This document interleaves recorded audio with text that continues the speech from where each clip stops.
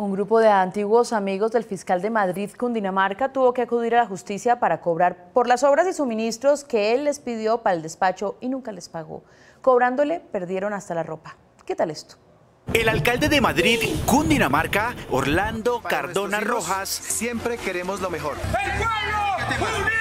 Ha venido perdiendo a los amigos que tenía antes de su elección. Porque era mi amigo, y también, eh, obviamente, el alcalde. El alcalde se aprovechó de su confianza, de su amistad para sacar ese trabajo hasta ahora gratis.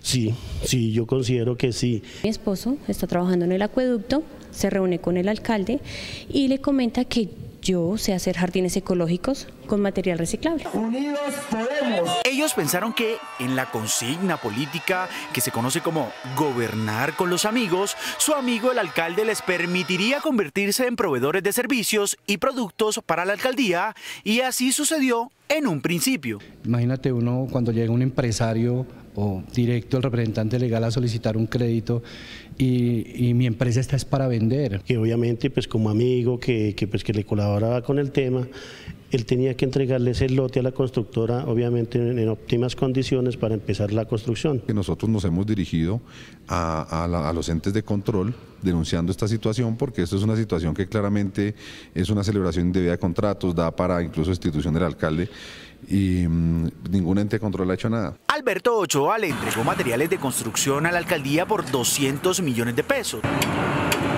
Cindy Zárate le construyó un jardín y Humberto Leal le hizo obras civiles por 470 millones de pesos, sin más requisitos que la palabra de su amigo el alcalde. Debemos ser agradecidos con esas personas. Pues totalmente estafada por el alcalde porque hace contratos verbales y después dice que no que si nos podemos ver en el Parque Lourdes a las 5 de la tarde. Yo le digo, pero ¿qué tiene que ver el Parque Lourdes si él tiene su despacho y yo tengo mi oficina?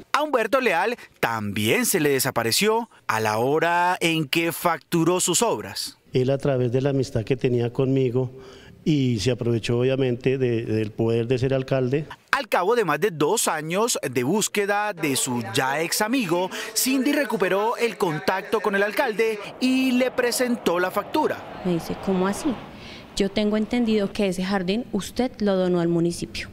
¿Cómo se le ocurre que a una persona cabeza de familia como mi mamá o una ama de casa como yo, vamos a donarle algo al municipio sabiendo que no lo hacen las grandes empresas. Cindy pudo conservar la ropa en sus acciones de cobro, pero Luis Alberto Ochoa no tuvo la misma suerte.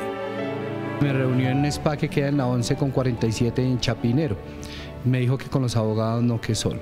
Entré, me tocó allá en bola para poder, para que no lo fuera a grabar ni nada, y allá me hizo una conciliación que hiciéramos un acuerdo de pago. Le dije, bueno. Finalmente ellos tuvieron más suerte que Noticias 1 porque hace dos semanas enviamos nuestras preguntas al alcalde y desde entonces lo buscamos en la alcaldía, pero aún no hay respuesta a nuestros mensajes y tampoco pudimos acceder a entrevistarlo en su despacho.